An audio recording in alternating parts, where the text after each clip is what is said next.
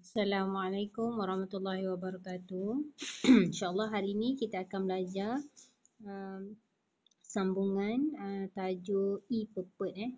E-Purpose hari tu, minggu lepas saya minta uh, awak salin perkataan uh, yang mengandungi E-Purpose. Hari ini uh, kita sambung pelajaran E-Purpose Sebelum tu kita baca doa dulu. Bismillahirrahmanirrahim. Allahumma ftah alaina hikmataka wa anshur alaina min khazaini rahmatika ya arhamar rahimin. Okey, uh, Alhamdulillah kita jumpa lagi untuk hari ini uh, 24 hari bulan 5 eh.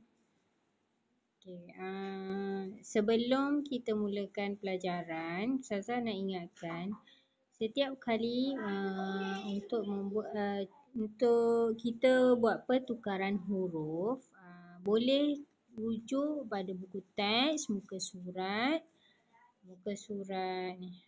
Ha ni 22 uh, ni 22 23 ha ni 24 pun ada 25 26 dan 27 ha Daripada dua, muka surat 22 sampai 27 tu uh, awak boleh cari.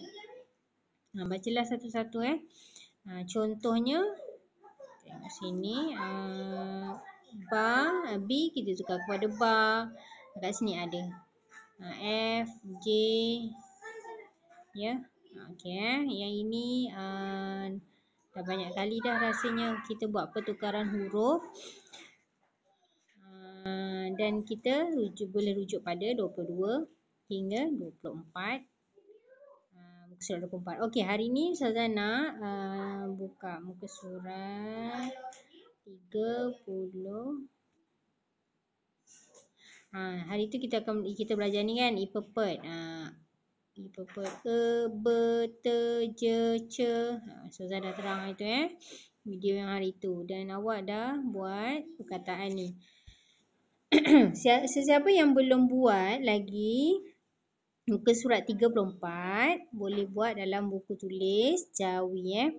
Uh, ada yang dah hantar dekat Ustazah bagus. Siapa yang dah hantar Ustazah ucapkan tahniah.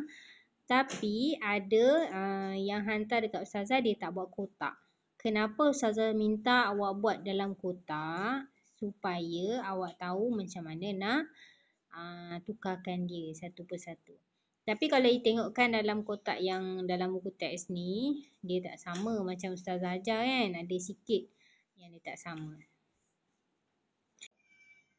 Okey, um, ini Ustazah uh, Ustazah con bagi contoh uh, kita, sebelum ni Ustazah ajar macam ni kan. Kita buat kotak.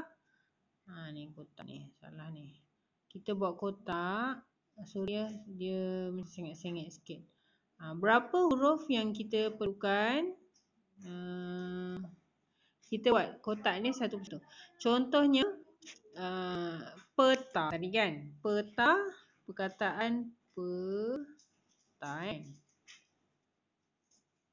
Peta eh.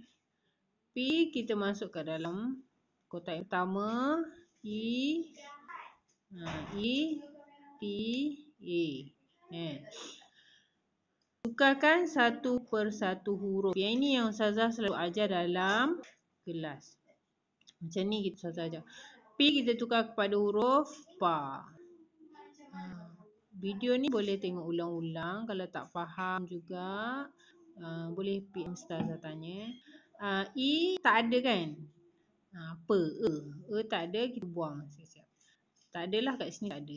Ha, kosong pun tak apa, tulis pun tak apa. T kita tukar kepada huruf ta. Ha, A kita tukar, uh, tukar kepada alif. Okey, lepas tu kita alihkan tempat. Alihkan perkataan. Kenapa kena alihkan perkataan ni? Kenapa kena alihkan huruf-huruf? Sebab bila kita tulis uh, huruf rumi, kita akan tulis daripada kiri kiri ke kanan. Tapi bila kita nak tulis jawi, kita kena tulis dari kanan ke kiri kan. Untuk permulaan kanan uh, perkataan ni mula-mula dia apa? Huruf pa. Jadi pa kita kena alih kepada uh, di dari kanan ni lah. Ha, mana? Kanan. Okey, pa. Pa ni tak ada jadi ni kosongkan. Kosongkan. Kosongkan. Ni ta dan alif. Lepas tu kotak yang bawah sekali kita sambung. Untuk sambungkan huruf pa, ta, alif. Jadi, alamak. Mana pergi? Pa, ta, alif. Eh.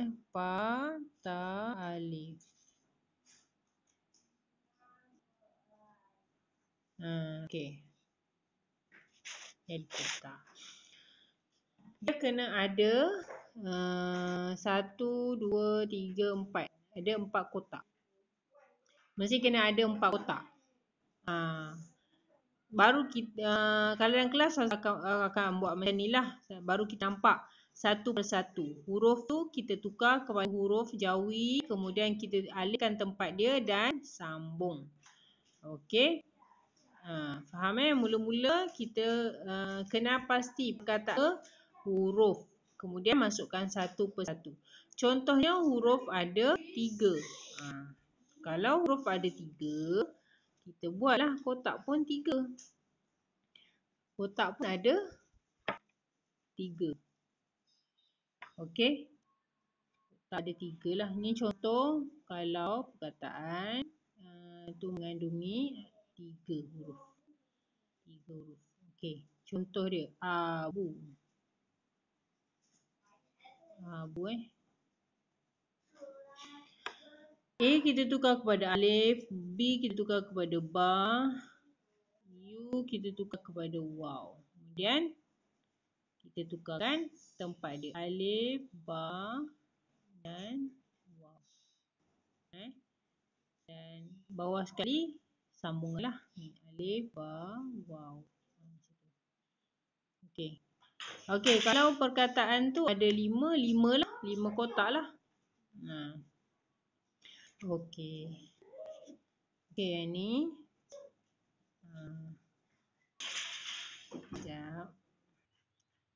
Okey, dalam muka surat 35. Ha. Ini pun Sazana awak ha, lancarkan. Eh. Ha. Baca suku kata pola vokal ipepet buka dalam buku teks surat 35 tengok ni tengok uh, kotak-kotak ni kan saya tak boleh kotak-kotak biru ni ha, tak saya tak tunjuk kotak biru ni uh, kalau alif ni uh, untuk bunyikan di ipet dia kita kena bunyi e lah kan e dia sama macam ke surat 33 nah. E, be, te, je, kan. Ini. Ha, Okey, yang ini tolong buat uh, dalam buku tulis. Contoh macam ni buat. Okey, hari ini hari Isnin eh. Alif, si, sa, nun, ya, nun.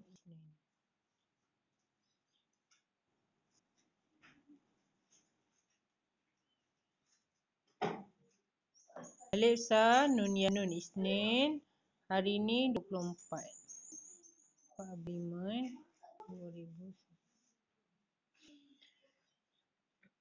Okey buat kotak macam ni awak bu, uh, buat dalam buku tulis buat kotak ha so buat kecil pula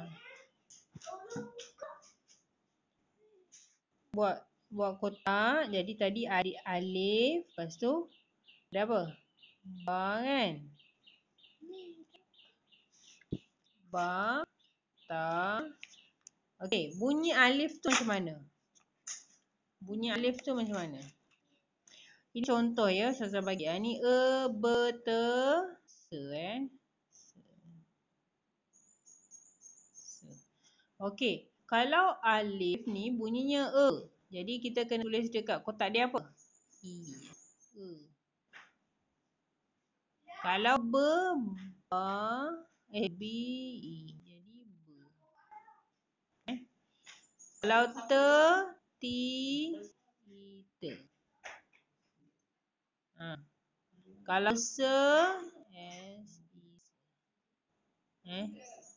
Ha, ini. Tulis dalam buku tulis. Sampai. Apa lagi perkataan dia? Sampainya. Ha, ni. Sampai hurufnya. Ha, semua ni lah yang ada alif ada uh, i satu ni. Okey, itu je. Itu je tugasan hari ni. Uh, siapa yang dah siap boleh tangkap gambar, tangkap WhatsApp Ustazah. Yang minggu lepas siapa yang salah buat, tak buat kotak, uh, boleh tolong buat lagi sekali. Tolong buat lagi sekali. Macam ni kan? Ni dia buat kotak.